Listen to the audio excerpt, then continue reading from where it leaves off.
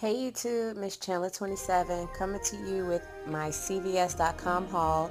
Now today and today only they have a deal where if you spend a certain amount of money you get a certain amount off.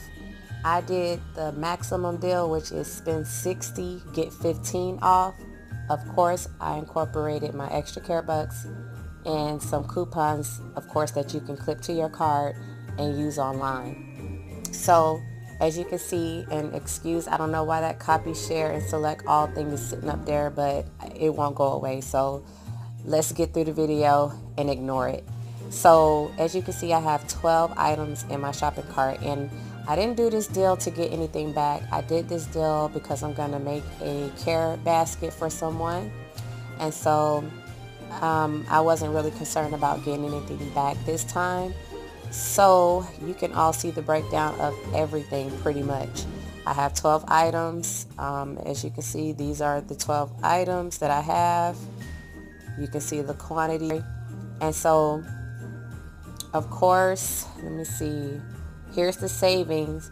Savings redeemed $59.44 and let me open that up and as you can see here here's the breakdown of all the coupons that I used and the savings that applied um, as you can see at the very top, there's the 15 off 60.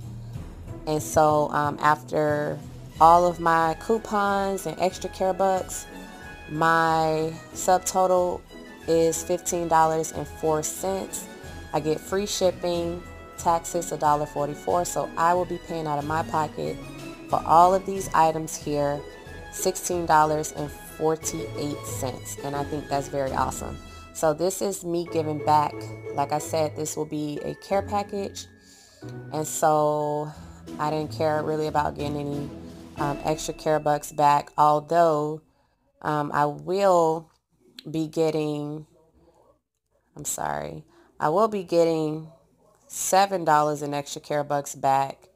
For some reason, it's not showing that on this screen. But yeah, pretty much I'll be getting $7 in extra care bucks back. Spending $16.48 and getting 7 back. But like I said, it's not really about me getting anything back. So this deal ends today. You can go on CVS.com. They have different um, amounts that you could spend to get a certain amount off.